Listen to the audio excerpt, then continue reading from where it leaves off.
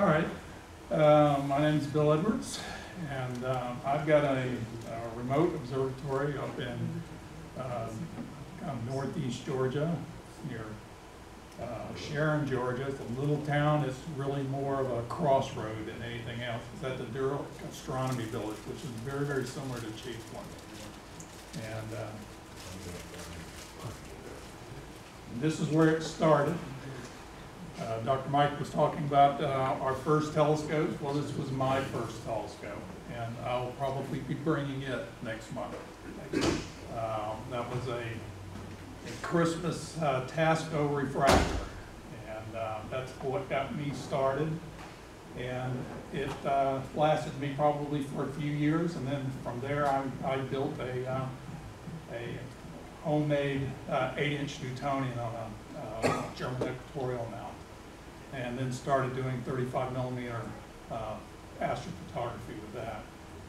Uh, That lasted me for a number of years, and then I moved on and um, ended up with this monster.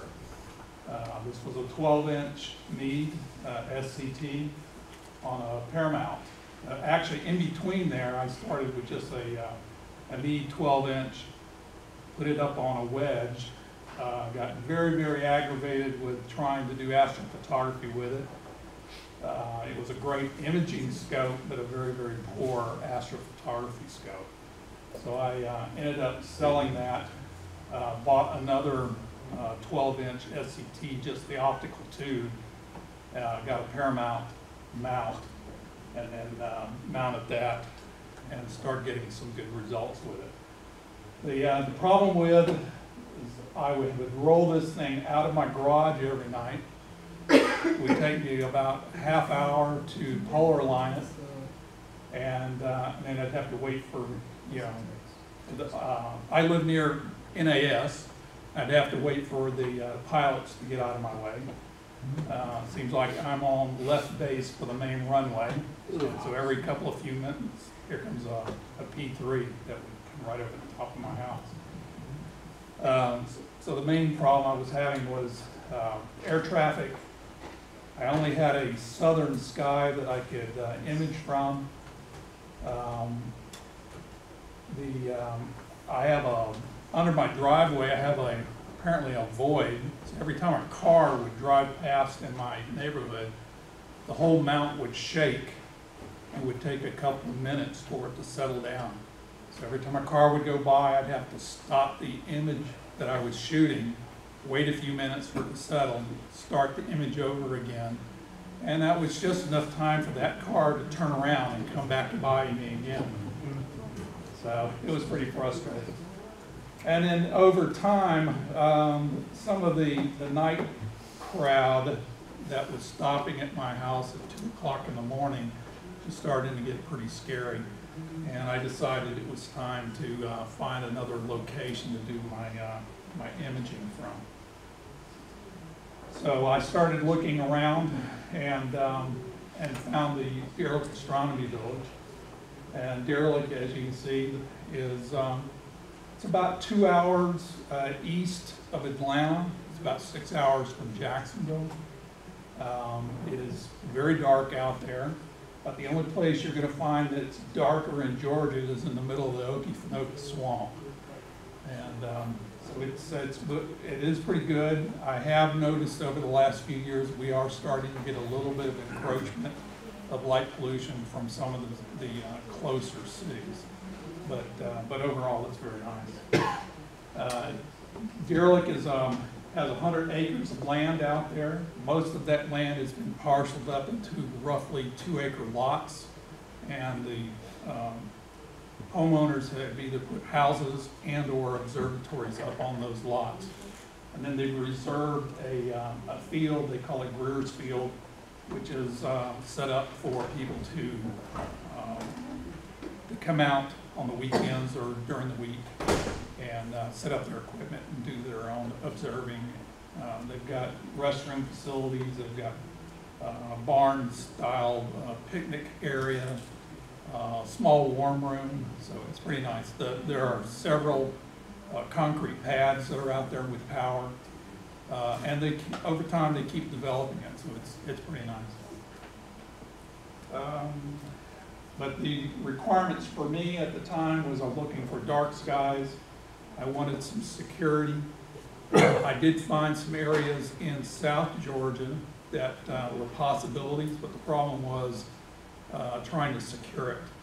And, uh, and know if I came back in another week or two weeks that, that the observatory wasn't gonna get broken into. Um, I needed high-speed internet access, and what I have is a fiber connection to the observatory, and I can get as much bandwidth as I need out there. Um, And then I need access to uh, other people, and uh, fortunately, there are enough people out here like that in the middle of the night, if I run into a problem, uh, there's somebody out there that I can call and get them to go out to the observatory, and if, worst case, park the scope and close the roof for me, and then I can make arrangements to then get up to the observatory and deal with whatever the problem be.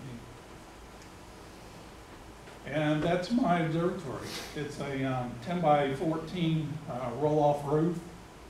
Um, It's a little distorted from my perspective here. Um,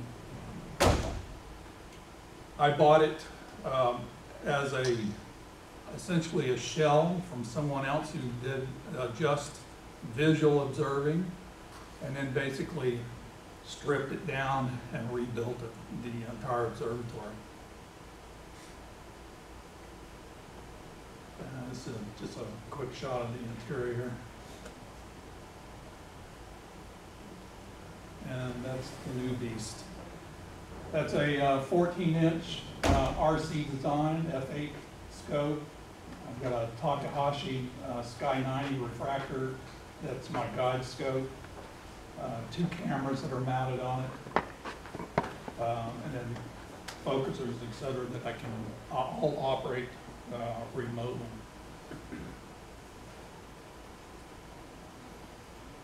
It's just a list of the, a lot of the observatory hardware and software. There are a lot of unique challenges when you're trying to run this thing remotely. Um, Again, the way I operate the, uh, the observatory is I go in in the evenings, uh, or actually in the afternoon and program what I want it to do for that evening. And then, um, about an hour or so before sunrise, or sunset, excuse me, it will open the roof and then, um, wait for, um, the sun to go down. To to power up all the equipment and get, let everything start equalizing for temperature. And then it will pan to the sky, focus on a star, move to the object, first object that I want it to image, and then start imaging, tracking that across the sky. Um, Does all this automatically. If there's a problem during the night, he calls me. And, um, so it's a list of some of the hardware to make all that hap- happen. Um, I've got a, a weather station there. I've got, um, cloud monitors, I've got sky quality monitors. Uh, some of that data that's collected from that gets pushed out, uh, to other organizations. Um, the sky quality, uh, monitor, for instance, um, the data from it gets pushed out to two different groups. And they they collect that data and are doing research with it. Uh, the weather station data is the same thing. I push that up to, uh, Weather Underground and a few others. Um, And then a lot of the other equipment, um, the web power switch. um, This is another type of switch. These are switches that I can use to either power on and off the one twenty volt equipment or the twelve volt DC equipment. So everything uh, has to be um, set up so that I can uh, individually power things on and off. You know, as you're aware with computers, you're always gonna have something that's going to freeze up and lock up. You gotta have some way of remotely being able to either, if nothing else, recycle it or at least uh, force that piece of equipment to, um, uh, to reconnect. Um, And that has been one of the real challenges I've had in setting up the observatory is that Uh, There is no book. You can't go buy a book that says, how do I build a remote observatory? That documentation just does not exist. So you've got to do, do a lot of networking with people who've already trailblazed this and start picking their brains on how did they approach some of these problems. And then, um, and then with me, I keep an Excel spreadsheet. Every time I have a little issue come up, it goes on that spreadsheet. And then I'm looking for a solution. How am I gonna resolve this and prevent it from recurring? Um, One of the biggest problems I've had in the, uh, the observatory is that a lot of this equipment, uh, things like uh, USB hubs, I go through USB hubs and routers like crazy. And the reason is that that type of equipment is never, was never designed and built to be left essentially outdoors. You know, they're, they're meant to be inside of a, uh, office environment, a home. And you leave them out and where they're exposed to weather a lot and they just break down. So trying to find more industrial grade, uh, hubs, industrial grade routers have been real challenges. Or taking some of that equipment and trying to, uh, be creative about covering them so that you keep the dew off of them, uh, without overheating the equipment. Um, I've had a real problem in the observatory with, uh, lightning, lightning and surges. Um, I was actually in the observatory one night when we had a thunderstorm go through. Lightning hit a pine tree about, um, hundred yards away, went down the pine tree, through the ground, up my pier, and then arced across to the, to the uh, UPS. And I was standing about four feet from it at the time. Scared the daylights out of me. So, and uh, what was funny was the entire observatory went dark, and then the UPS clicked back on, and everything powered right back up. That one I got lucky. I have not been as lucky with some of the others. So everything in the observatory is surge protected. All the twelve volt is surge protected, all the one twenty, all the USB, all the ethernet, everything is surge protected. And, um, uh, and the, the observatory at the panel has got whole house surge protection. And after having gone through all of that, um, it's gotten better. Um, just a list of a lot of the software that's employed in the, um, the observatory, and as you can see, it's quite a list. Um, it gets very complicated.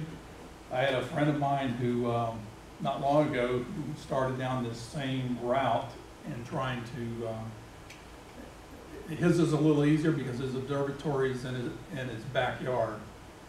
And what I told him was start taking this in small pieces and implement it. Don't, don't try to do all this at once. You've got to just do it in small increments and just build on it and build on it. Otherwise, you get buried in this because it doesn't take but one, one of these pieces to stop working and everything stops working.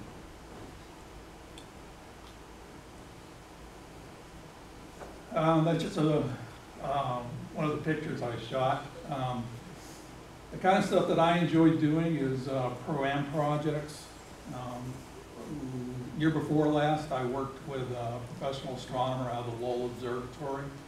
And I was on a team of, uh, about six other amateurs.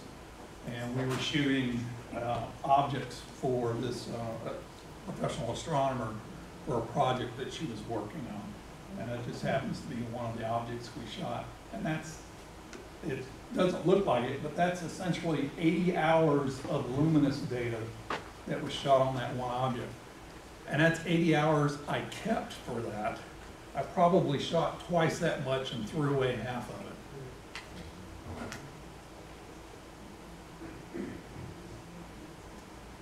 There's my very first telescope. That was taken in front of what was the Children's Museum, um, probably, I'm guessing 1970, in a time far, far away. And I'll try and do a quick demo here.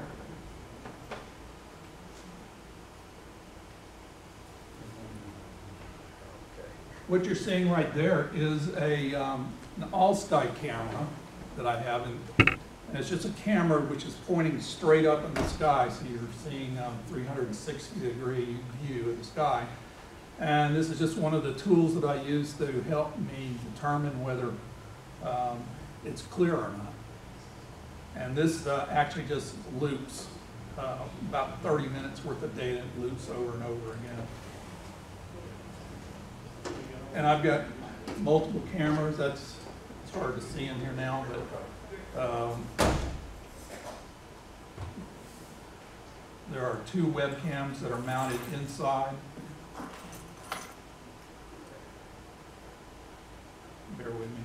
And typically, like I said, what I will do in the afternoon is I have a, a product that's called CCD Navigator. And this is a tool, it's a planning tool. And um, I use this to help me uh, determine uh, what's up in the sky that night, or in the case of uh, NGC 4700 with the window over here, essentially what time does it come up? That's its highest point, and then that's what time that object sets in the evening. And uh, so I'll take this data, and then over here, it will build in that observation, and then it will export a file, which I then push over to the observatory. And once it gets to the observatory, I import that in. We're gonna connect to the observatory now.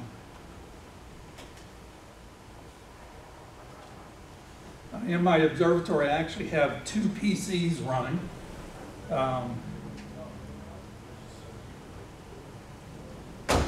I have one PC which actually drives the telescope and the cameras, so that's the imaging rig, and a second PC which has all the environmentals on it. So it, it runs the weather station, it runs the SQ, the sky quality meter, uh, the cloud monitor, et cetera. And I kind of purposely split that off because trying to run this all on one single PC uh, was just too much of a load for a single PC. Um, and it increased uh, too much instability on that PC. So by separating some of the stuff out, it just made it the, the environment a lot more stable. So what you're looking at now is a piece of software called um, the SkyX. This is SkyX Professional, and it's a um, planetarium type software, but it also interfaces to the telescope, the, um, the roof, the cameras, the focusers, etc. All of that hardware. And then on top of that, I wrote another piece of software, and it's called uh, CCD Autopilot. And what we've just done is told Autopilot to go ahead and link. Normally, I would, um, in fact, we're gonna do this first.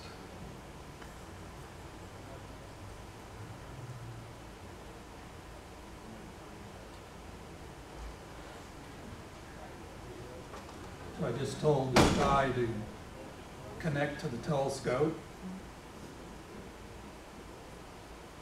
And because it had been previously powered off, I've got to home the mount, which just means that it's going to move the telescope, put it into a position so that it knows exactly where that telescope is pointing. And it's telling this right here that it's finding home. As it does that, continue.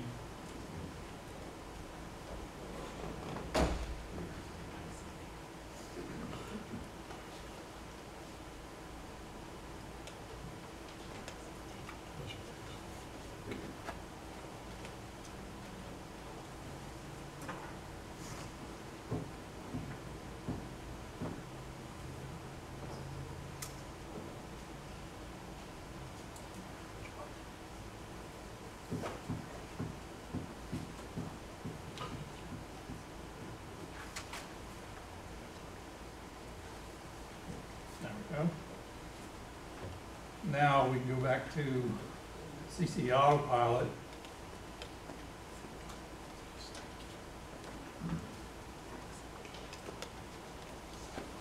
And I've already programmed in the objects that I wanted to do. Um,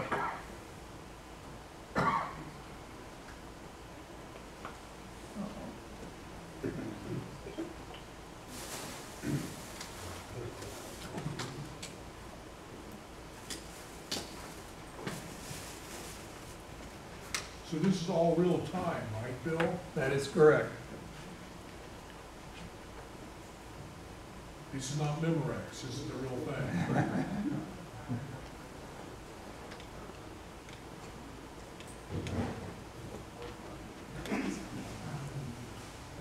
And I'm trying to do a small problem.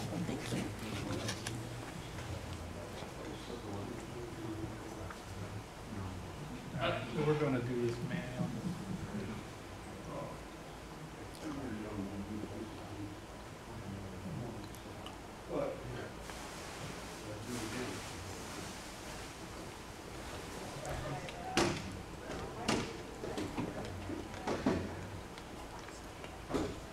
So was just taking a 10-second exposure uh, at the moment. There we go.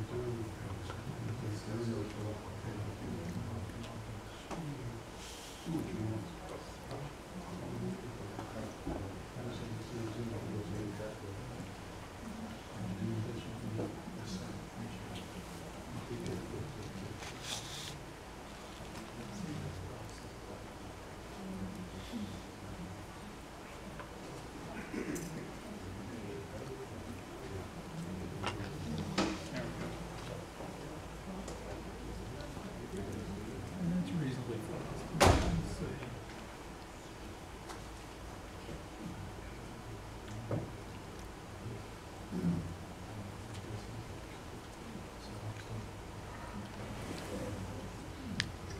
Keep having some lags.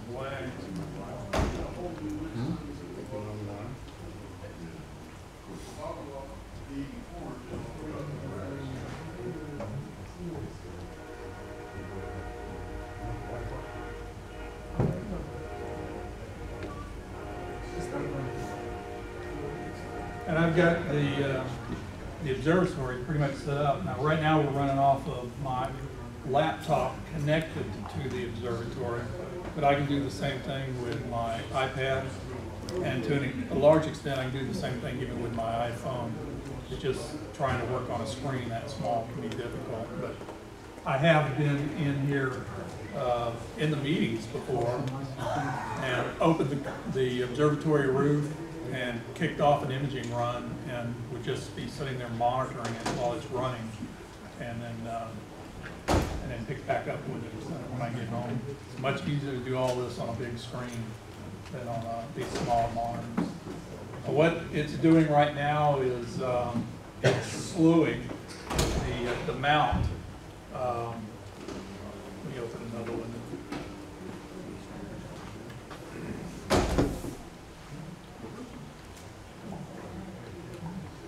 That's just a little graphic that shows where the, uh, the telescope is pointing, which is kind of handy.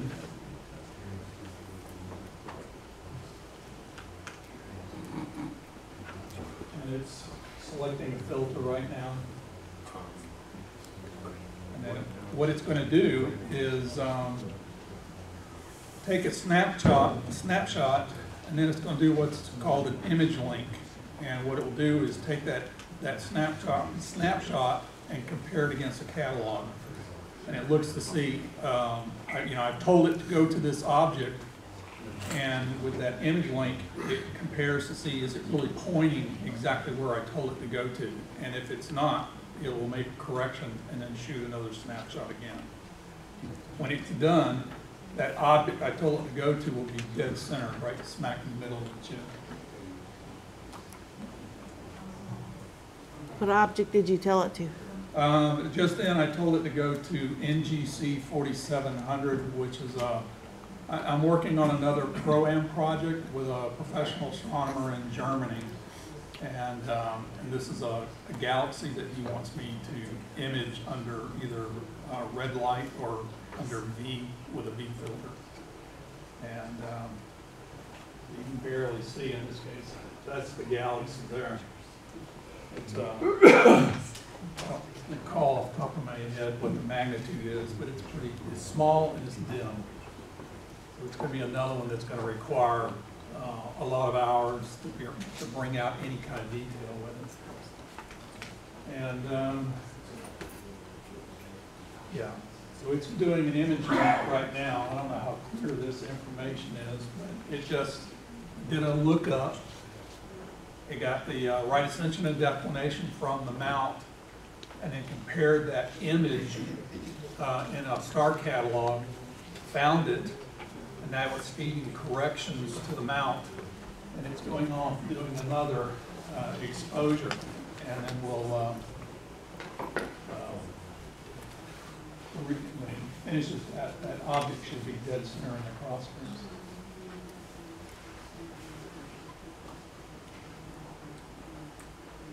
It hasn't yet, but will it center there? Yes.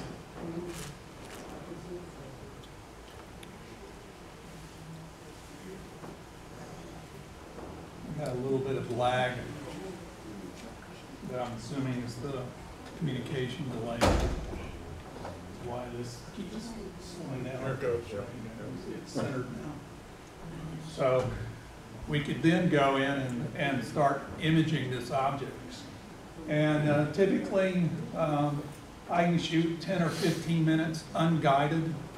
And uh, anything longer than that, then I've got to initialize the uh, guide scope and the guide camera, and then um, pick a guide star, and, and then I can go, I can guide for as long as I need to. Uh, Typically, I won't go more than about twenty minutes, so guided. But if I can uh, shoot something unguided, ten or fifteen minutes, I'll go unguided. Um, I just seem to have much better luck uh, shooting unguided than guided.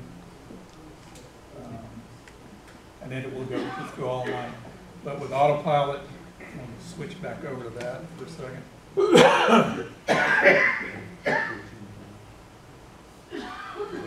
So that's a list of uh, targets, two targets that were in there.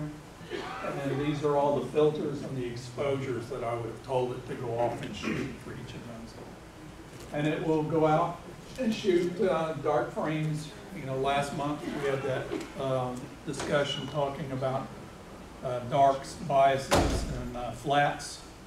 Uh, This can do the darks, bias, and flats either at dusk and also at dawn.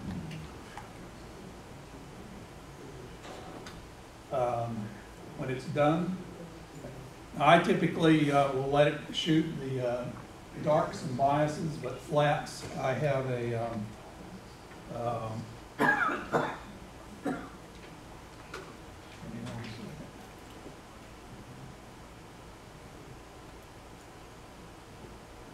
I just turned on a, a red rope light inside the observatory. And those are the two monitors, the PCs. This is a, a light panel. And, um, so it's a flat LED light panel, and that's how I shoot my flats. So the, the software is set up, and the red light just came on. Um, uh,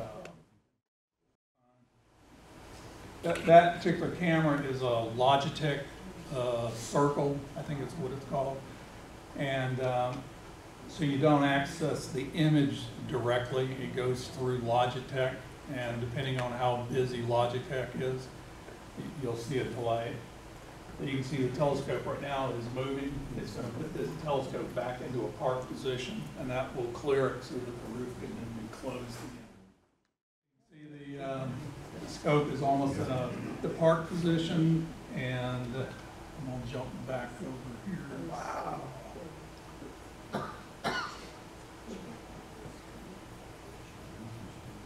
There's just a little guy that lives in that house. And then, Moves Say, everything. there isn't, do you have any kind of right there is now telling me it's safe. Do you have smoke alarms and stuff in the thing? Yep, there's And it'll smoke let you know, alarms. it'll call you up or something? Yep, Awesome.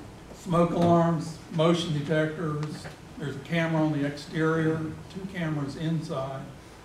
Uh, Any motion on any of those cameras send me alert. Yeah, The red thing. Um, Bill, how much money did you get from your fire insurance?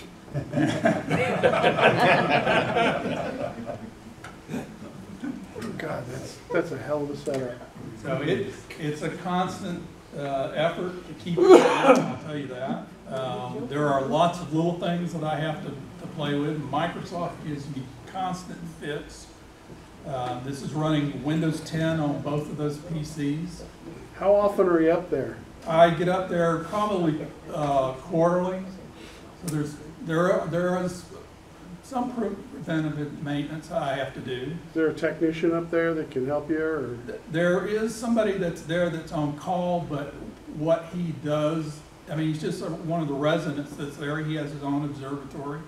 He's somewhat familiar with like the Paramount, but, uh, but the rest of my setup, no. I mean, if I wanted him to like, No, it's a specific take my camera you. down and, and do something, could he do that? I wouldn't even ask him to do that. Jesus. The kind of things I've asked him to do in the past is, I've run into a problem, I, I had a problem one night where the, um, um, when autopilot started up, it told the mount to home itself, and instead of homing itself, it went the other direction, and the, uh, the optical tube bumped here, and then it stalled the mount. Right, And at that point, what do I do? You know, I tried to power the mount off, power it back on, could not do anything with the mount. So I had to call him and get him to just come out there and manually repark the, uh, the scope for me. I saw you, obviously, the- we, that we saw the air conditioner on the side. Are you able to manipulate and change your climate control from here in case, say, it's, uh, August thirtieth and it's hundred and two there? Yeah, the Okay. automation is already set up, that kicks the, this time of year is set up where as soon as it hits eighty-nine degrees inside the observatory, turns the air conditioner on. And runs it until about eight o'clock at night, and then it just shuts it off, and it stays off the rest of the night. Any problems with excessive humidity? It, it's always humid there. Air conditioner or not, it is Yeah. always humid there. Um, The observatory is uh, insulated, that helped greatly. Um, There were good points and bad points about doing that. I, I put up this um, radiant barrier insulation in there. And when I did that, it dropped the temperature inside the observatory probably twenty degrees. The downside is, you open the roof, it holds the temperature for probably a good hour and a half every night. So it takes a while for that heat to get out of the observatory. awesome. Any more questions? That's amazing, man. Thank you. Thank you so much. Man,